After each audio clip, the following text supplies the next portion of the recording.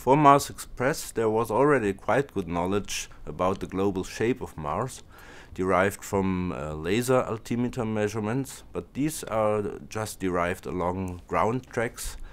What was missing was uh, area-based coverage by high-resolution images that could allow for stereo analysis. HRSC was the first stereo sensor that was applied in planetary research and uh, we were able to derive from these data digital elevation models with 10 times higher resolution than what was available from the laser experiment. And this is done at the planetary scale, this means with global coverage. The process uh, for deriving digital elevation models and image maps starting from the decoded raw data is very complex. This process uh, has to do two things.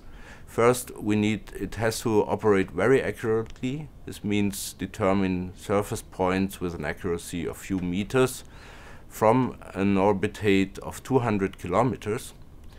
And second, it has to be able to work with really uh, large data volumes that uh, stem from the global coverage of the planet.